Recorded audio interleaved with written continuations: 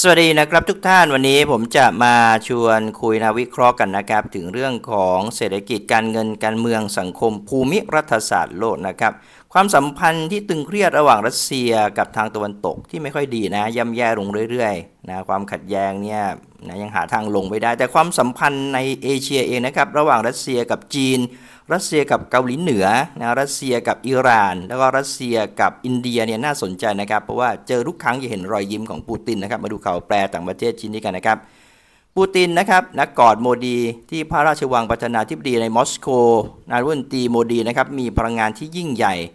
ปูตินนะครับต้อนรับนายรัฐมนตรีโมดี สู่ที่พักนะชนบทนะด้วยหนึ่งการกอดและการจับมือ shake hand สิ่งนี้นะครับคือการพบประชุมแบบทวิภาคีเป็นครั้งแรกนะครับของปูตินและโมดี ภายหลังการเลือกตั้งนะครับใหม่ในรัสเซียและอินเดีย ปูตินนะครับยกย่องชมเชยนายรัฐมนตรีโมดีที่มีพลัง ในช่วงระหว่างการประชุมนะครับเชิงสัญลักษณ์นะครับณที่พักของผู้นำรัสเซียโมดีนะครับทราบนะที่จะได้รับผลต่างๆสำหรับผลประโยชน์นั้นของประชาชนชาวอินเดียอย่างไรปูตินได้กล่าวประธานาธิบดีของรัสเซียนะครับได้แสดงความยินดีต่อนายรัฐมนตรีโมดี ในการเลือกตั้งใหม่อีกครั้งนะครับของเขา ต่อมานะครับประธานาธิบดีรัสเซียปูตินนะครับจะเป็นเจ้าภาพอาหารค่ำนะส่วนตัว นะสำหรับนายรัฐมนตีโมดีนะครับในภายหลัง โมดีและปูตินนะครับจะหารือถึงบรรดาประเด็นในภูมิภาคและระดับโลกในวันที่ 9 กรกฎาคม การพูดคุยต่างๆ ในระดับผู้แทนจะตามมาด้วยนะครับการพูดคุยในระดับที่ถูกจำกัดนะครับระหว่างบรรดาผู้นำโมดีนะครับได้ไฮไลท์นะความเป็นหุ้นส่วนทางยุทธศาสตร์ ที่มีความก้าวหน้าในพลังงาน ความมั่นคงและการค้าขาย นายรัฐมนตรีโมดีนะครับยังได้ถูกคาดการณ์ที่จะมีปฏิสัมพันธ์ ร่วมกับชุมชนชาวอินเดียในรัสเซียอีกด้วย ก่อนหน้านี้นะครับโมดีได้มาถึงนะที่หนึ่งพิธีการต้อนรับนะครับที่ท่าอากาศยานมอสโก ในการเยือนของเขาเป็นครั้งแรกนะครับนับตั้งแต่ปี 2015 รองนายรัฐมนตรีนะครับของรัสเซียนะครับเดนนิส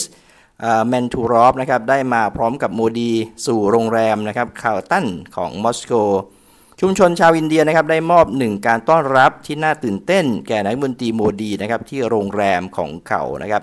มันข่าวแปลต่างประเทศชิ้นนี้เนี่ยนานๆนะครับจะเห็นนะช่องข่าวนะเอาข่าวแบบที่น่ายินดีแบบมานี้นะไม่ได้ข่าวเกี่ยวกับศึกสงคราม การสู้รบความขัดแย้งนะแต่ว่าเป็นรอยยิ้มดีๆ การจับมือ shake handนด์นะครับการโอบกอดนะมีภาพสวยๆงามๆของก็เรียกคันที่ไซนะเป็นเขตชนบทอะนะที่เป็นธรรมชาตินะครับ มีการพูดคุยกันนะบรรยากาศชิลๆรีแลกซ์อะไรประมาณนี้นะ ซึ่งเราไม่ค่อยได้เห็นนะครับ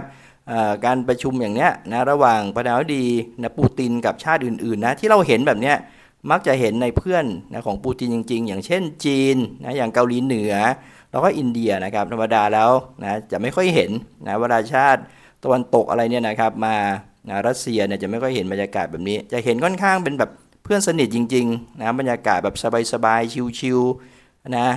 ใส่เสื้อแบบรีแลกรีแลกนะบรรยากาศเรียกว่าครันที่ไซนั่นเองนะบรรยากาศธรรมชาตินะครับชิลๆสบายๆแล้วก็เต็มไปด้วยรอยยิ้ม และเสียงหัวเราะนั่นเองนะก็แปลว่าอะไรครับแปลว่ามองคล้ายๆกันให้ความเคารพซึ่งกันและกันนะครับแล้วก็ผลประโยชน์เนี่ย